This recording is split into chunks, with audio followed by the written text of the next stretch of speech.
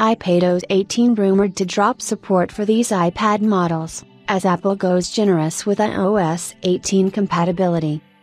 Apple is expected to announce iOS 18 in a few months at its developers conference in June, alongside a handful of other updates for its entire product line. As we come closer to the unveiling of iOS 18 and iPadOS 18, we are hearing details on which iPhone or iPad devices will feature support for the updates, as the company is known to drop compatibility for some older devices. According to the latest rumor, all iPhone models that support iOS 17 will also get iOS 18, but iPadOS 18 will not be compatible with some older iPads. Check out the list of iPhone and iPad models which will get support for iOS 18 and iPadOS 18 later this year. We have previously shared an unofficial list of iPhone and iPad devices that will feature support for iOS 18 and iPadOS 18, but it appears that the latest rumor is somewhat credible.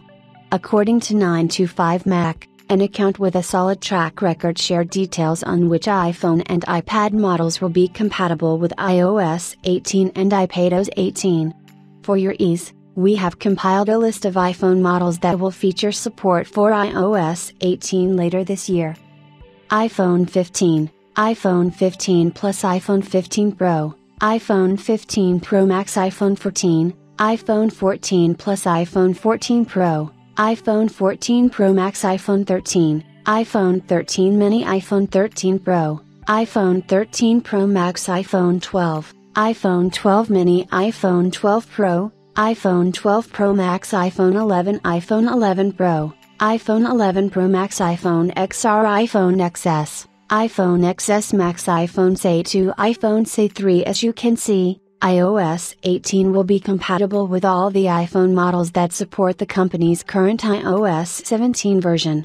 Apple has been very generous with iOS updates as the company supports an iPhone model almost five years after its launch, and while the competition is following the same route, it is struggling to keep older versions of Android alive on old hardware. However, the same cannot be said for iPadOS 18, as the company is planning to drop compatibility for some iPads in the coming months. Check out the list below on which iPads will drop support for iPadOS 18. Apple will drop support for these iPad models.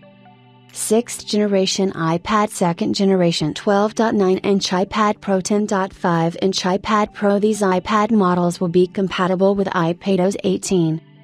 2019 iPad and newer models 2019 iPad mini and newer models 2019 iPad Air and newer models 2018 iPad Pro and newer models However, it is a bit peculiar to see that the 10.5 inch and 12.9 inch iPad Pro models will drop support for iPadOS 18 despite being powered by the company's A10X Fusion chip.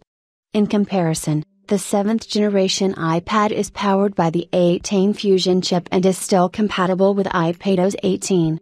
Note that the list is mere speculation of devices at this stage, as the company will officially announce the compatibility of its upcoming software updates at its WWDC 2024 event, which is scheduled to begin on June 10.